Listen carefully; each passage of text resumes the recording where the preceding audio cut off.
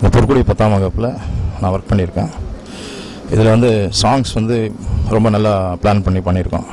Locations கூட ரொம்ப high லெவலில் தான் ப்ரொடியூசர்ஸ் வந்து எனக்கு கோஆப்ரேட் பண்ணியிருக்காங்க.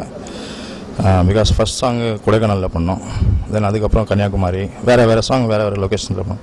கடைசியில் இந்த இதில் ஒரு சாங் ஒரு டிஃப்ரெண்ட்டாக பிளான் பண்ணது என்னென்னா ஒரு குடி சாங் ஒரு லேடிஸ் எல்லாம் லேடிஸ் வந்து குடிச்சிட்டு ஒரு நாள் குடித்தா என்ன பிரச்சனைன்றது அது நாங்கள் வந்து ஒரு சாங்காக ஒரு கொரியோகிராஃப் பண்ணியிருக்கேன்.